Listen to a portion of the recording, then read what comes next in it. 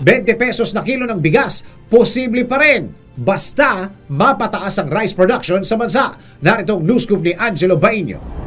Posible pa rin ang 20 pesos per kilong bigas na ipinangako ni Pangulong Ferdinand Bongbong Marcos Jr. Mismong si Pangulong Marcos Jr. ang nagsabing magiging posible ito kapag may saayos ang rice production, gamitin ng mga magsasaka ang mga makabagong teknolohiya at kung hindi masyadong tamaan ng bagyo o sakuna ang bansa.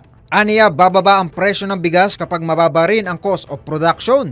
Dagdag pa ng Pangulo, maraming dahilan ang direktang nakakaapekto sa presyo ng bigas sa bansa, kaya kinakailangan mag-adjust ang gobyerno at merkado.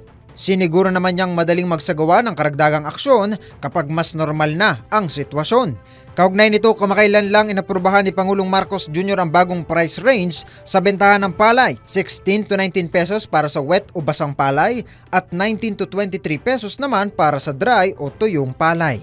At yan ang aking news scoop. Ako si Angelo Bainyo, nagbabalita ng tama, naglilingkod ng tama.